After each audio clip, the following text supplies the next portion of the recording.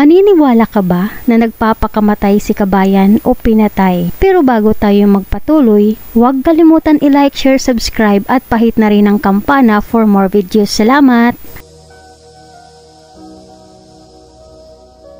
Lugmok na lugmok ngayon ang pamilya ng isa nating kababayan na taga Kibukay Opis sa Maguindanao matapos matanggap at masilayan ang malamig na bangkay ng isa nating kababayan na dumating noong December 1, 2023 na kinilalang si Babilin Anggi Alig, 26 years old, isang OFW kasambahay sa Riyadh, Saudi Arabia, isang ina sa nag-iisang anak na lalaki.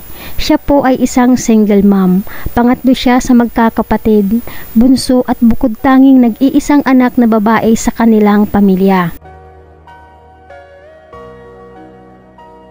Ayon sa ulat na inilabas ng agency, nagpakamatay di umano si Babilin sa pamamagitan ng pagdaslas nito sa kanyang pulso. Ito'y ayon daw mismo sa amo ng ating kababayan. Ngunit hindi naniniwala ang pamilya. Dahil ayon sa mga kaanak ni Babilin, excited na umano itong umuwi dahil tatlong buwan na lang ay matatapos na ang kanyang kontrata. October 17, 2023, masaya umano itong nag-post sa kanyang Facebook account. Proud nitong pinakita sa publiko ang bahay na kanyang pinagsisikapang maitayo para sa kanilang dalawa ng kanyang anak na lalaki. Sa kanyang post, may caption ito na, See you 3 months left, katas ng Saudi. Ngunit lumipas lamang ang dalawang araw, October 19, 2023, nakatanggap ng masamang balita ang pamilya ni Babilin mula sa agency at OWA na patay na di umano si Babilin. Namatay daw ito noong October 18, 2023 at nakasaad dito sa papel na inilabas ng agency na suicide umano ang dahilan ng pagkasawi ni Babylin. Ito'y ayon daw mismo sa amo ng ating kababayan. Naglaslas daw si Babylin dahil sa niloloko daw ito ng kasintahan na tatlong buwan pa lamang nito naging kasintahan. Kaya't nagduda at hindi naniniwala ang mga kaanak ni Babylin dahil napaka-imposible daw na magpakamatay ito, itatlong buwan pa lamang nito karelasyon ang di umano'y lalaki na itinuturong dahilan sa pagkamatay ni Babilin. Bukod pa dito, paiba-iba rin daw ang impormasyon na inilabas ng amo patungkol sa pagkamatay ni Babilin. Hindi konkreto at hindi detalyado kaya sobrang nagtaka at nagduda ang pamilya na baka may iba pang nangyari sa ating kababayan na si Babilin Anggi Alig. Dahil noong ibinalita sa pamilya na namatay si Babilin, hiningi daw ng kapatid sa agency ang address ng amo ni Babilin. Pero di daw binigay ng agency ang address ng amo. At nilitrato ng bangkay ni Babilin ay hindi sila binigyan ng amo. Bukod tayong litrato lang ng kamay ni Babilin na may laslas ang pinadala sa kanila na di naman kalaliman ang sugat. Naayon pa sa kamag-anak, para lang daw kinalmot ng pusa yung sugat na nasa pulso ni Babilin. Bukod pa dito, nakapagsumbong umano si Babilin sa mga kaanak na masama umano ang ugali ng kanyang mga amo at sinasaktan umano siya. Ayon sa komento ng kapatid ni Babilin, hindi ako naniniwala dahil last usap namin sabi sobrang sama ng ugali ng mga amo niya kahit ang mga kamag-anak ni Babilin ay duda rin at hindi naniniwala na boyfriend ang dahilan. Dahil ayon sa mga kaanak, napakalaking imposible naman kasi yung boyfriend niya ay bago pa lang niya nakilala 2 or 3 months pa sila magkakilala. Ayon pa sa mga kaanak, nagtaka umano sila dahil noong mismong pagkamatay ni Babilin ay mayroong kaagad pinadala na otopsiya. Pero nang mag-chat ang OWA, sinabing di pa tapos ang autopsy.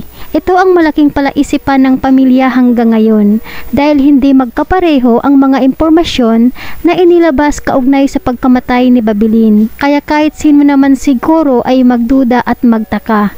Kaya nasabi ng pamilya na walang masama humihiling ng tamang hustisya. Ayon sa mga komento ng mga OFWs, hindi yan nagpakamatay Pinatayan, sa sampung Arabo, isa lang hindi sinungaling. May pangarap sa buhay tapos magpakamatay. Imbestigahan mabuti yan. Hopefully makamit ang ustisya. Sa ngayon, dasal lang po ang tangi kong maitutulong. Pinalabas ng amo niya na nagpakamatay siya. Uminom daw ng lason pero ayaw maniwala ng pamilya niya kasi las usap nila sinaktan daw ng amo niyang babae. OFW ako, hindi ko nila lahat pero sa totoo lang, marami po dito sa Middle East mga sinungaling na amo. Tingin ko, pinatayan. Excited umuwi tapos mabalitaan mo nagpakamatay daw dahil sa lalaki. Alibay lang yan ng amo. Dapat kumilos kayo pamilya. Dahil kung mayaman ang amo nito, nabibili po ang hustisya. Maniwala kayo. Kayang bayaran lahat, malinis lang ang pangalan nila. Di ka pani-paniwala dahil may pangarap daw ito sa buhay at excited daw itong umuwi. Imbestigahan po ng mabuti. May nabasa ako may kasama daw itong Pinay. Sana pati yun maimbestigahan rin baka nabayaran. Kasi kahit kapwa mo pa yan, kaya kang traidorin alang-alang sa pera. Ang balita, Kuwait lang ang pumapatay. Dito rin sa Saudi. Yun nga lang, ikaw pa pinatay, ikaw pa pinagbibintangan na pumatay sa sarili mo. Bulok lang maniniwala sa inyo. Titingnan kayo ng Panginoon ngayon si Allah. Ipagpatuloy nyo ang ubod nyong kasinungalingan. Masunog din kayo at hindi kayo forever dito sa mundo nyo. Ganyan ang maghari. Pag ayaw ng amo na uuwi yung katulong, hahanapan ng rason ang katulong. Sabihing nagpakamatay pero ang totoo sadyang pinatay. Sana di niya patatahimikin ang gumawa sa kanya ng karumaldumal. Bakit di ito binalita? Samantalang OFW rin naman ito, dumaan sa immigration. Wala man lang balita para sana malaman ng mga namumuno sa Pilipinas. Wala talagang silbi ang mga media na mimili ng ibabalita. Sasakay sila kapag nagva-viral. Kawawa naman si kabayan. Sana makamit niya ang totoong hustisya. Sana mapaabot niyo ito kay Senator Rafi Tulfo para maimbestigahan sa Senado o baka kasabwat ang agency sa takot nila maband ulit ang Saudi. Isa rin akong OFW dati sa, sa Saudi. Muntik na rin ako matigi ng amo kong babae. Pinagsisilusan ako kala siguro niya papatol ako kay baba. Sinampal ba naman ako at pinalo at binato ng kutsilyo. Sinabunutan at hinila ako, kaya nagpasaklulo kaagad ako baka ano pa gawin sa akin. Kaya ayaw ko na sa Saudi. Ngayon dito ako sa Hong Kong nag-DH. Mabait amo ko at hinding hindi ko yun makakalimutan. Ikaw kabayan, bilang isang OFW, ano naman ang masasabi mo sa bidyong ito? Maniniwala ka ba na nagpapakamatay si kabayan o pinatay? Pakikomento ang inyong pananaw patungkol sa bagay na ito. Salamat at mag-ingat po kayo palagi kung saan man kayo naroroon. At advance Merry Christmas po sa inyong lahat.